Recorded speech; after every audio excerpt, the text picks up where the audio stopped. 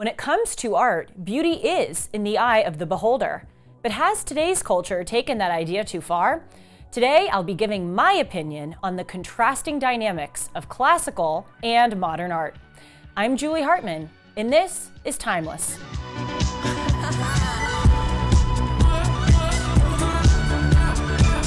Hey everyone, welcome to Timeless. I hope that you're having a great week. Just a reminder to hit the subscribe button down below so that you can stay notified every time I post a Julie Noted vi news video or a timeless episode. And also be sure to follow me on Instagram and Twitter at Julie R. Hartman. I will also take this opportunity to tell you to please follow Dennis, uh, follow, excuse me, Dennis on Instagram and Twitter at the Dennis Prager. God knows Dennis will not publicize his Instagram on his show because probably sometimes he forgets he has it, but I do not forget, and thus that is why I am relaying this information to you. So today we are going to be talking about art. Now, those of you who have been watching Timeless know that I actually did an art episode a few months ago with the great Robert Florczak, who is a classical art expert as well as an artist himself. He actually designed the logo of uh, Michael Jackson's Neverland Ranch, and also he has work that is in the private collections of AT&T, which is really cool, as well as I think Mel Gibson as well some really uh, uh, high level companies and individuals have bought and displayed his art. Anyway, I had him on this show a few months ago, and I asked him to please provide me with five paintings that he, as the art expert, thinks that everyone ought to know about. And we had a really, really fun discussion. I highly encourage all of you to check it out. The episode is called The Art of Art. So this is kind of a timeless art episode 2.0. And I really credit Robert Florczak in that episode that we filmed a few months ago for alerting me to the beauty and magnificence of classical art. I once wrongly thought that you had to be an expert on the painting, the artist, the subject matter, the time in which it was created in order to appreciate that painting. Sometimes I would go into museums and I would look and I would go, I have no idea what that's depicting. How can I appreciate this if I'm in the dark as to what the subject matter is? Robert Florczak in that episode, you can literally see me being influenced on camera for the hour. He upended that view that I had. He showed me no, you don't need to know anything about the subject matter or the artist or the time in which it was created to, to appreciate the piece. Look at the way that the artist paints light. Look at the lines and shading and color that the artist used.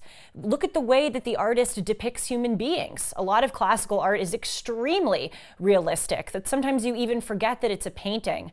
So, since that episode, I've gained a new appreciation of art. I've actually spent a lot of my free time looking at art, and I've developed some opinions about the differences of classical and modern art that I want to share with you today. Later in this episode, I'm going to give you three reasons as to why I prefer classical over modern art. And as you will see, I kind of root that in a values or morality based argument. So we will get to that. But before I go to my subjective take, of good and not so good art, let's first start with an objective, quick review of the history of the evolution of art, which in itself is really interesting and informative. So, before the modern art push, and I'm going to pinpoint when I think the quote unquote modern art push happened, there was an emphasis on art that was realistic and art that depicted stories things that could inspire and motivate the viewer. And often these stories were biblical stories or stories from literature and from mythology. So those are really the two components of what art consisted of prior to the modern push. So there was first the medieval art period, which was from about the year 500 to 1400. And I'm going to be pulling up examples of each of these eras to show you what they valued and then how the next era kind of evolved. So this medieval art area, or era, excuse me, I keep calling eras areas. like the other day on Timeless, I said, what did I say, Sean? Shakespeare, I said Shakespeare. We got to do a, a, a blooper compilation one of these days. But let's look at a painting from the medieval era, which is called The First Picture of Christ's birth. This goes back to the 1400s. We actually don't know who the artist was of this magnificent painting, but we see a theme here that is emblematic of a lot of the art during that time, in that it is magisterial. It's awe inspiring. You see Christ right there after he was born, sitting on his mother's lap, Mother Mary, who's adorned in this beautiful blue, and he has his hand on what I presume is his father Joseph. So you can see that this little baby Christ is Christ like because already he kind of has this touch of healing. And you see all of these individuals who are there in Bethlehem after Christ was born and they're oohing and awing, they're fawning over the birth of this uh, particularly important child. You even see some of the animals that are turning around and looking or, and have their ears up because they are so interested in this baby being born. And you just get a sense from this story that this was a really important moment. Of course, if you're Christian and looking at this piece of art, it's very important um, and moving to you. But even if you're not a Christian and you look at that piece of art, you're getting something out of it because you know that is a story that has been instrumental in Western civilization. So we see here that art in the medieval era, era was trying to impart something to you, whether it was a lesson, whether it was to move you, or just highlight a story that is of particular cultural importance. We now know that modern art really doesn't do that, but we will, of course, get to that. So that's the medieval period. Then, starting in about 1400 and for two centuries, so from 1400 to 1600, we move into the Renaissance period. This period also wanted to depict magisterial moments or scenes of importance, mostly from uh, literature or from history. But we see that in the Renaissance era, the priority more than anything else is making realistic depictions of human beings and of our surroundings. Look at the School of Athens, for instance, by Raphael. He painted this, this magnificent painting in uh, the 16th century. Each of those figures that we see has perfect proportions. They look exactly like human beings. Even if you go back to the uh, picture of uh, the first picture of Christ's birth, the medieval painting that I showed you. Yes, the human beings are clearly human beings, but they don't look as realistic as they do in the School of Athens during the Renaissance period. The Renaissance was characterized by high standards of form and drawing. They wanted to make everything realistic. Even if you look at the arches, that are behind the figures in the foreground of this painting, which, by the way, the main figures are Plato and Aristotle, who are in the center. Even if you look at the arches behind them, do you know how hard that is to do from a technical painting standpoint to make things look like they are far away?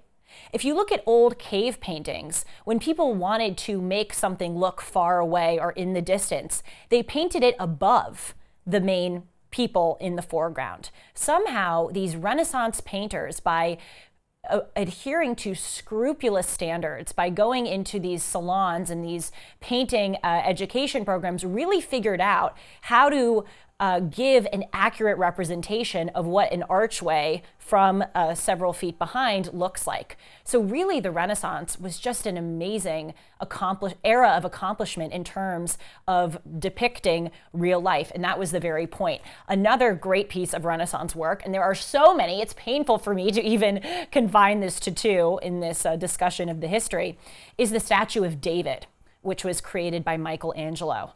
We see here in this statue that David looks like a real human being, a particularly attractive human being, but we see that his his legs and his arms and his torso and his head are in exact proportions. That is really, really difficult to do. But again, it shows that above all else, the standards of the Renaissance era were realistically depicting uh, people. And by the way, that statue of David, that stands is called the contrapposto. And apparently, it is the ideal of human stances because the body's a bit curved. They're not standing flat like a, a robot or a stiff figure. You see, David is kind of curved, and it gives this, I think, attractive, inviting quality to the statue. Then we move in, and by the way, there are all these like sub periods within these. I'm just giving you the the most important for the sake of time and for the sake of your interest, because if you get into too minute details, well, they just get kind of boring. The next era of significance was called Rococo. Rococo. I say it in the fun way. I love this era of art. Robert Florczak accused me of uh, being a typical chick for admiring the Rococo era because it's kind of, uh, he says that the paintings are chick flick paintings. For instance, one of the main paintings of the Rococo era was The Swing by Fragonard. And we see this woman who is actually having an affair, and she's on the swing in this plush, beautiful pink dress and it's in this garden and it's so lush and it's giving all these vibes of procreation and of sensuality. And then we see her lover who hmm. is down in the left of the painting looking up in awe of her. I hmm. love this because I think it's kind of like medieval and Renaissance art, but more relaxed. We see here that there is still a an importance placed on depicting the, the individuals and the nature as realistically as possible. But it's not as scrupulous as the Renaissance era. Like the leaves are not in such precise detail. They look a little bit like they were painted, but nevertheless, I think it upheld all of the standards that were established in previous eras, but just made it a little more fun and, as I said, sensual. Um, a, more sensual experience in terms of the colors and the things being depicted. Now we move on to the Impressionist era. The Impressionist era started in the 1860s and continued for a few decades. This is where I pinpoint the shift into uh, the beginnings, at least, of the modern art era. The Impressionist era was a response, actually, to these established and strict artistic conventions that were um, created in the medieval Renaissance and continued in the Rococo era. There was a group of artists, including Claude Monet and Edgar Degas, who wanted to break away from these rigid rules that were practiced by certain art institutions. Specifically, there was an institution, or a salon, it was called, in France. It was an annual exhibition that was organized by the French Academy of Fine Arts. And that held significant influence over the art scene. If you were included in that annual exhibition, you were like the hot artist. But what that salon did is it only picked painters that very scrupulously adhered to the standards of realism. And so Impressionist painters like Manet and Van Gogh wanted to get away from that. They wanted to create art that was still beautiful but didn't follow those traditional rules. So we see paintings like Argenteuil by Manet. This is uh, from 1874. And yes, you can tell that these are two human beings. You can tell that it's a man and a woman. You can tell that they're sitting on a dock and there are boats in the ocean and trees behind them. But you can really get a sense that it's a painting. They don't look particularly realistic compared to the way that, that human beings were depicted in the Renaissance era. You can see the brushstrokes and that was the point of Impressionism. It was to capture fleeting moments, to play around with light and color, to use looser and more visible brushstrokes, because instead of aiming for precise details, they just wanted to convey the overall impression of a scene. Interestingly, the term Impressionism came from one of uh, Monet's paintings. He created this painting called Impression Sunrise uh, in 1874. And a lot of people, like the members of the French Salon, who didn't like Impressionism, actually started to use it as an insult.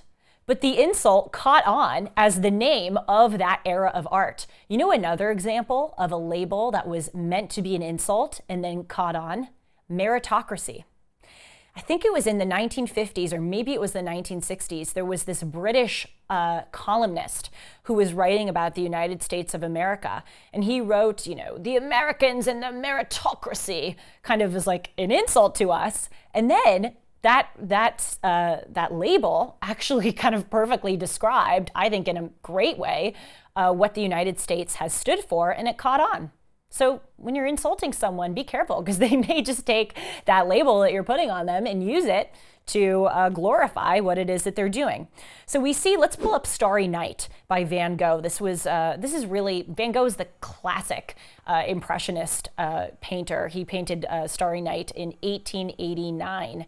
We see the brushstrokes, we see it's not rigidly adhering to certain rules, and I think that this Impressionist era is really where we start to move into the modern era precisely because there is not this adherence to classical standards and forms.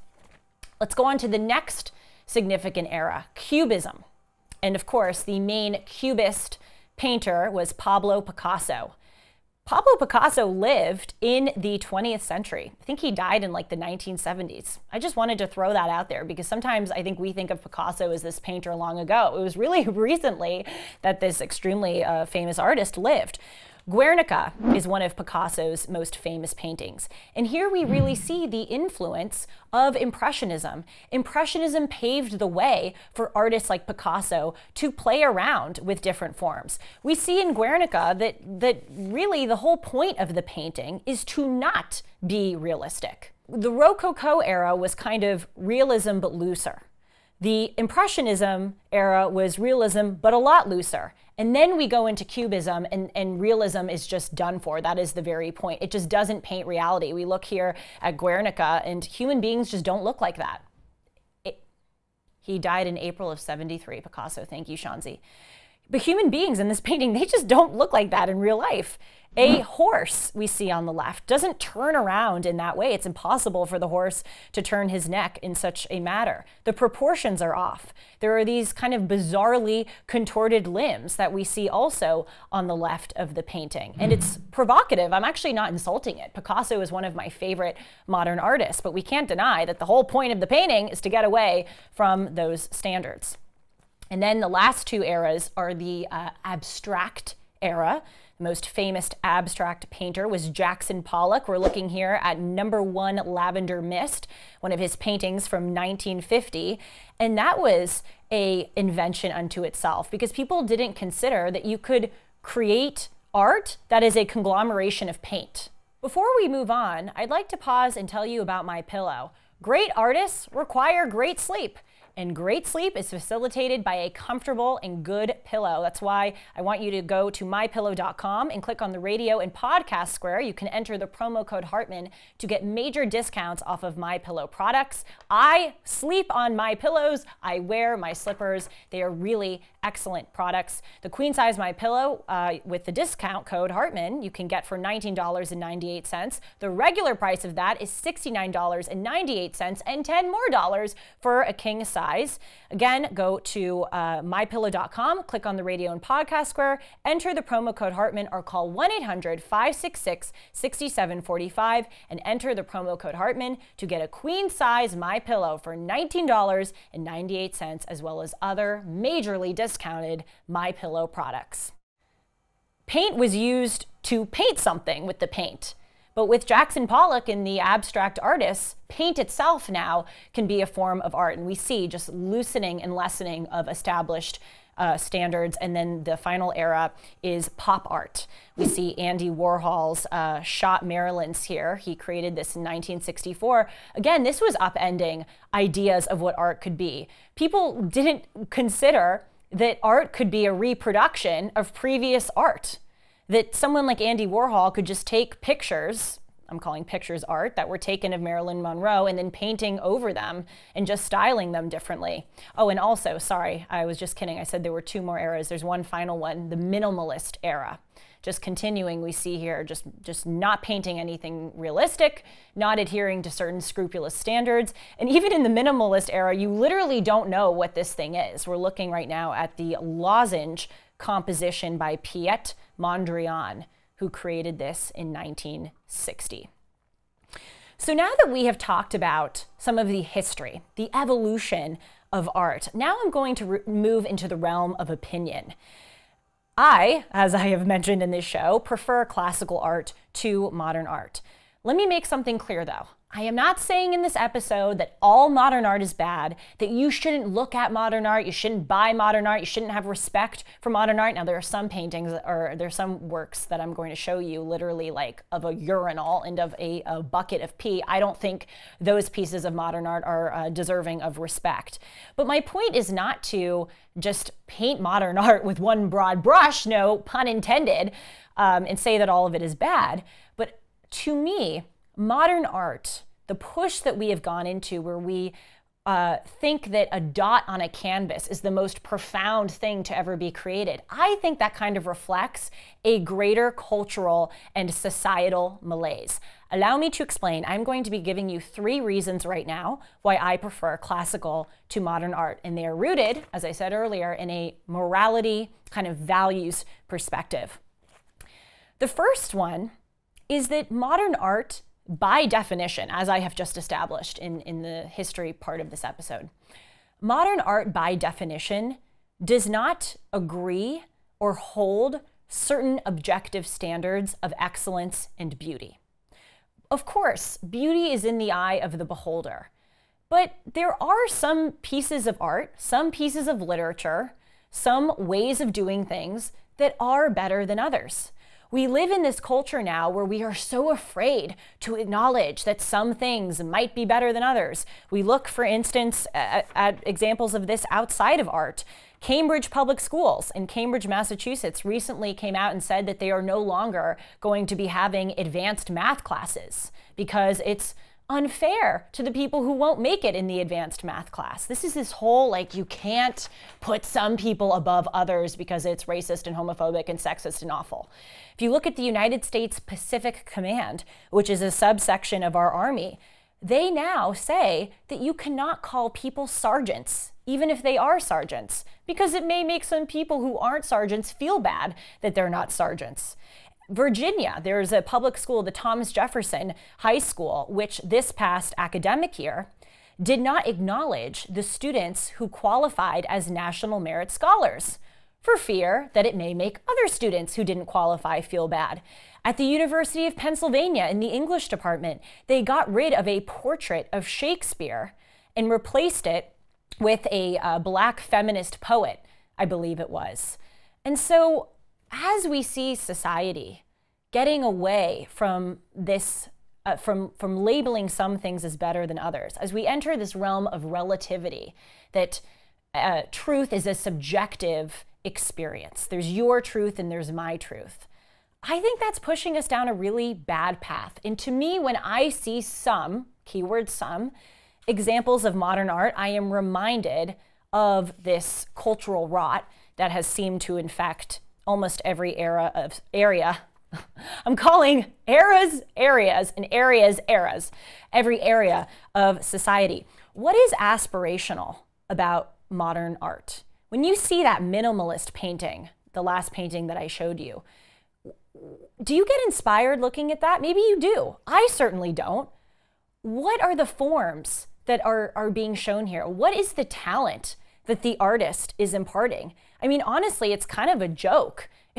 it's kind of amazing that we live in a uh, capitalist society that will literally like where people will buy paintings that the artist probably spent 10 minutes making and call that the most profound thing. Let's compare this min minimalist painting to one of my favorite paintings, which is called Flaming June by Frederic Leighton. Frederic Leighton was an artist in the 19th century. He painted this in the 1880s. And so we see here this beautiful woman who is asleep. And it's just, I think, a lovely painting. And it shows that the artist has talent and the artist is subscribing to certain standards of excellence that he um, sought to really master for the viewer's benefit. Look at this woman's dress. We can see her skin under the dress. We can see her, her breast popping through. That is exceptional artistry. How was an artist, how did that artist become able to make something that he painted look sheer? Make that dress of hers look see through. Do you know how hard that is to accomplish? When I look at that painting, I respect the excellence that the painter was striving to achieve and show to me. When I look at the minimalist painting, I get no such feeling that there is excellence or an aspirational quality. Let's look at another extremely famous painting, the Arnold Arnolfini portrait by Jean van Eyck. He painted this in 1434. The color in this is spectacular. We forget that, that paint is just a conglomeration of minerals. And back in the 1400s, people sat and just mixed different minerals and tried to come up with these different colors. And they did an extraordinary job. If you see that mirror in between the couple, if you zoom in, the painter is actually in the mirror which is so clever, also, you know, very uh, precise artistry. Look at the light coming out of the window on the left. We look at it and we forget that it's a painting. It looks so damn realistic what the artist has achieved. Even look at the window being situated where it is. That is very difficult to paint things that are at an angle and make it look realistic.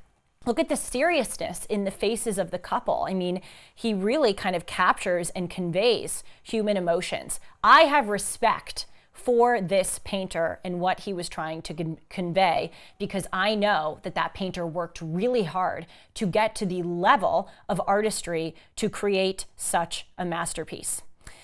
So, that is reason number 1 these standards of excellence, which I think modern, uh, or excuse me, classical art seek to uphold where modern art kind of disdains. Reason number two is that to me, modern art doesn't really capture the essence of a human being in the same way that classical art does. Yes, I think there's lack of, of excellence in the form of modern art paintings, but I also think there's a lack of excellence in conveying what human beings are really feeling. And specifically to me, and I want to emphasize again because people are going to come at me, this is my opinion.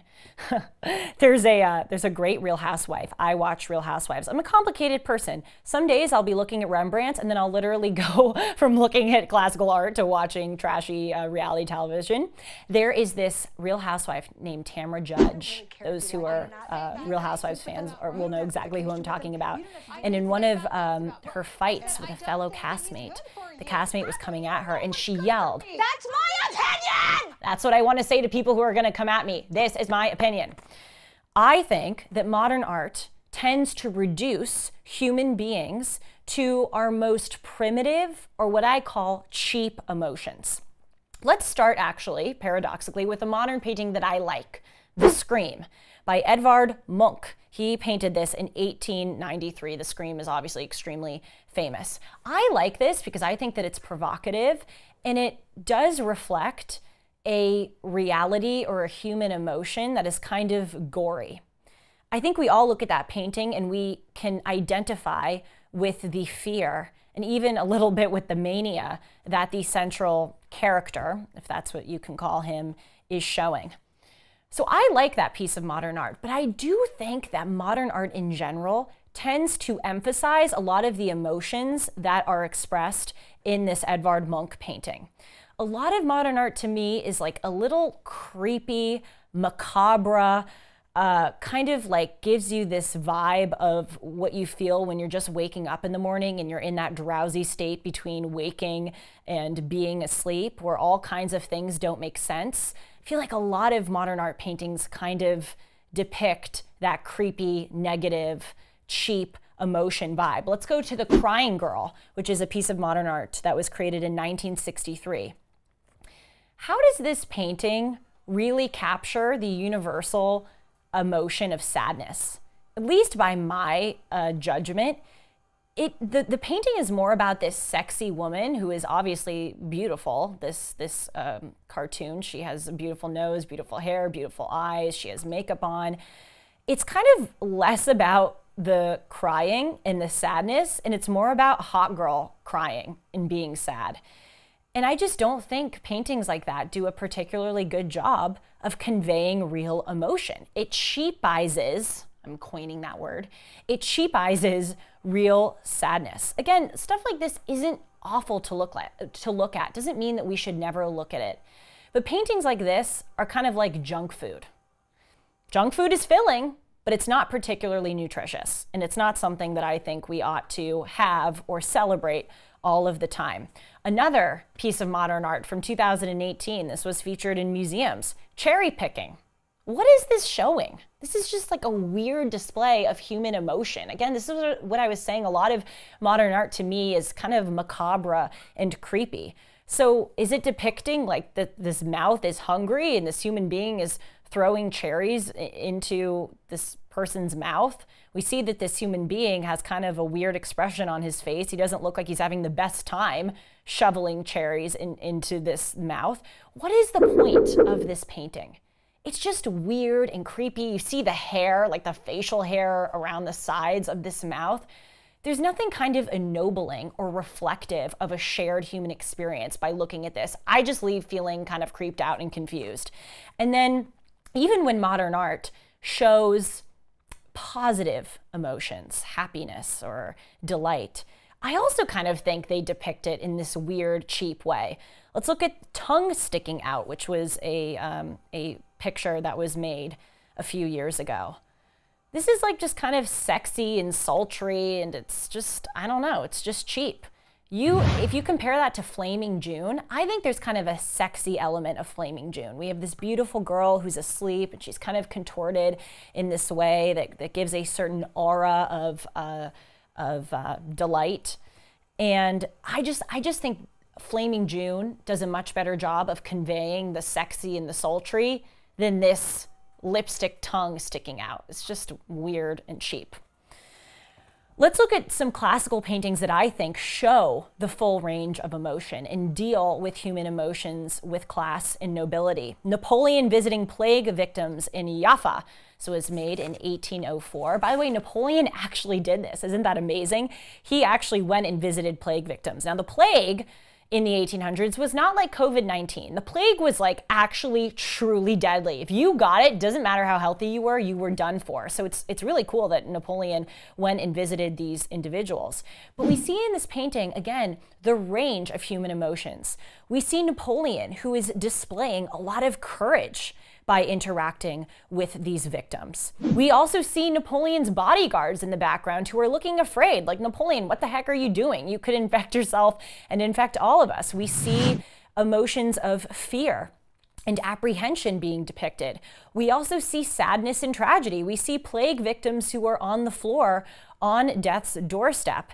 And it captures the, the scope of human feeling and gives, I think, a dignity to that human feeling in a way that a lipstick tongue sticking out just doesn't, according to my judgment. And then here we have from the 1500s a painting called Christ Looking Up.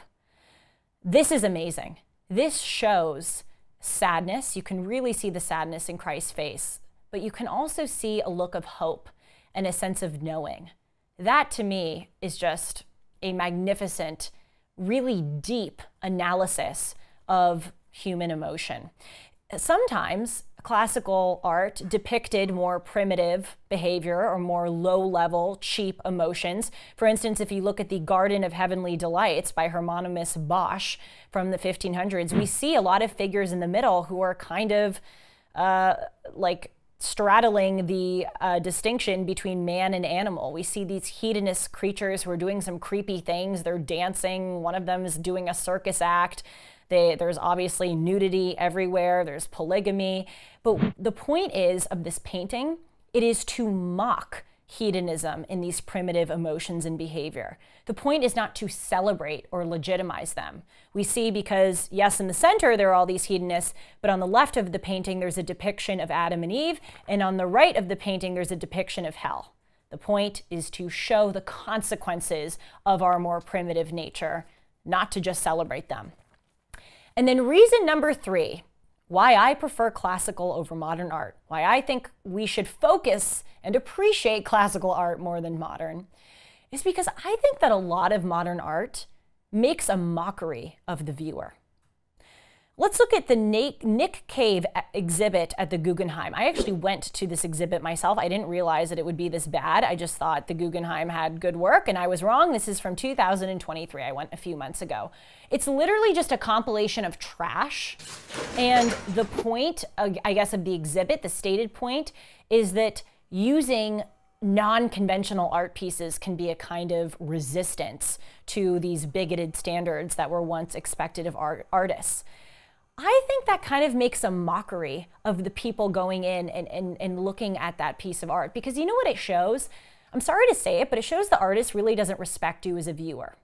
If they respected you as a viewer, I think they would spend a lot of time really trying to create a good, noble product. They wouldn't just throw together a, a, bunch of pieces of trash and try to sell that to you as the most profound thing you will ever see in your life. It's the same thing with walking into an art exhibit and you see all of these people oohing and awing at a canvas that just has one stroke of paint on it.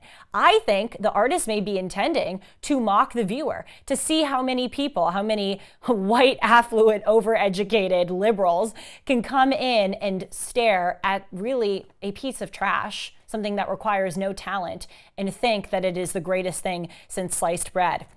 And then we see the fountain, which is the urinal, somehow passed as art. This is from 1917. And then the final image I'll show you today is of this uh, piece called Pissed.